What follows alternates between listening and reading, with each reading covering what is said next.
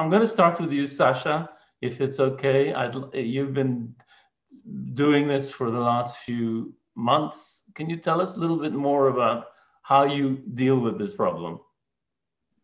For sure. Yeah. Thank you, Jerry. Um, it's really, really incredible to be here and hear from such a diversity of perspectives. And I think it's um, really interesting to center the conversation about eco anxiety and eco anger around young people because I think that they can bring a really novel lens to it. Um, at Force of Nature, what we do is this kind of idea of anxiety to agency or taking that anxiety and that feeling of um, hyper emotional arousal and channeling it into meaningful action.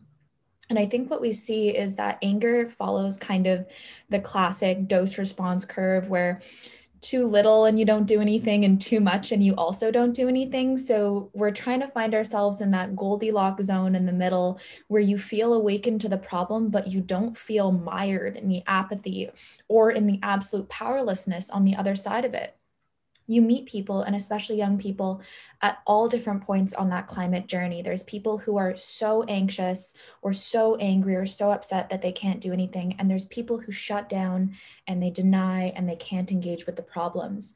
So i think it's about figuring out how you can cultivate that anger that powerlessness or whatever it is and channel it into that action and i think that is right there in the middle what's interesting about young people, and I think about people in general, is we've even heard from a diversity of perspectives so far. You can get those feelings, and anger is a reaction or an expression of emotion, and you don't really know where it's coming from. But if you can start to understand where those feelings coming from, you can look towards solutions instead of capitalizing just on that feeling. And that's kind of where the difference is between anger for a purpose versus more ego based anger. Like, I am angry. And I think when we make the anger not about us, but rather about a problem, that's when you can start to see solutions. For me, it's a very tricky subject because, on a realistic perspective, there isn't much anger and anxiety when it comes to the environment in our communities because we have so many other socioeconomic problems. So you can't tell someone to care about the environment when they don't even have the money to put food on the table that day. Um, so for me, on a personal view, I experienced anxiety a lot. Um, when the crisis hit us here in um, the Western Cape, and I was like so like I was so destroyed, and I couldn't understand why this was happening. And when I went to the internet and did my research, and then found out about my worst fears coming true that global warming is real, climate change is here, and the world could be ending in a couple of years if we don't move um, in the right direction. Um, and I really did battle with that a bit until I found um, Project 90 by 2030, which is also an environmental club that I started, um, I joined in about grade 11. So, in a perspective from my community around me, even when I was trying to get more people to understand climate change or to partake in like joining the protest, um, um, like just learning more about climate change, they were very dismissive because they were like, that's like, are you serious? Why are you talking to me about climate change when there's so much crime in our cities, where there's so much um, abuse in our cities.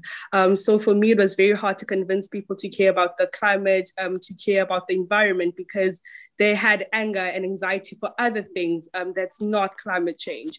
Um, so I feel like this could be a good angle to speak to people about it, but it has to have context um, in the areas that we want to use it from, because um, activism from the global north is not the same as the activists like activism used in the global south. That's why we encourage intersectionality so much. Um, so for me i feel like it is well that we should use this language use anger use um, anxiety because it catches people's attention but we also have to connect it with context um, to the kind of people that we are talking to um, as I said, I'm intimidated by that, but thank you so much for bringing us home to the realities. Uh, Emma, you were nodding at some of this. Can you put your your perspective in on this? Yeah. Um. So you're the you're talking about like the language that what is it, is it uh, important which language we put to these words and um because people make connections with these things but i think that no matter what word we use in terms of anxiety it could be worry concern apprehension. Basically it's all the same. And the, we could beat around the bush about it but at the end of the day we it is a feeling. Anxious anxiety is a feeling.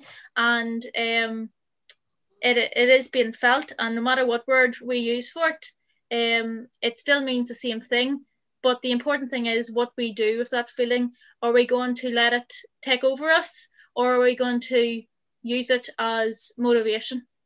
The importance of education because we all know and we all understand that the effects of climate change affect the poor, the marginalized the most because they lack the resources and any sources that they lack the resources for to um, to protect themselves or to rather how can I say to have places where it, they can um, be in refuge to protect themselves against climate change, right? So it definitely um, goes to a point of um, there needs to be education in schools. It can be door to door, anything. So to going back to Unati's point, who was saying that, because I, I really don't want us to generalize, because she was just saying, but I understand her point where she was saying most Black people don't understand what climate change is about.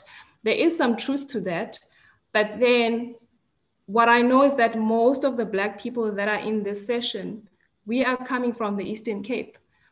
And we do know all of our grandmothers, our forefathers, they've been farming, right? But if you go home, home these days, these years, no one's farming anymore. It's drought conditions, right? We all know, we know, we know that culture, but now we are coming into big cities, Cape Town, right, for employment opportunities, and um, if a child grows up in an area where there's pollution, there's glass, um, papers just being thrown anywhere, will they know, will they then understand anything related to climate change or pollution or waste management if they grow up in that kind of environment? So then it's important then we start um, with the young people. Diversity needs to play a role, you know? I believe that there's a, a quote that I like to live by that says, beyond fear lies freedom. I think our problem is that we are fearful. We do not want to give anything a chance. As soon as something that makes us uncomfortable, we, we, we quickly shove it off and, and say, no, this is not for me. But then I, I believe that if we diversify and be unity, then we can take care of all those problems. You know, it should not be about black or white. It should be just gray, you know. I think those things we need to look look closely with a magnifying glass, as to say, it's not about black or white, it's not about green or purple, it's about one. Let's diversify. Let's find this is this is a common problem to everyone. Let's all find a common solution. Let's not say, "Oh, I'm not getting affected as much as the the other people." No, no, no. It should not be about that. We must always remember to diversify, and with that, there's nothing great like being different.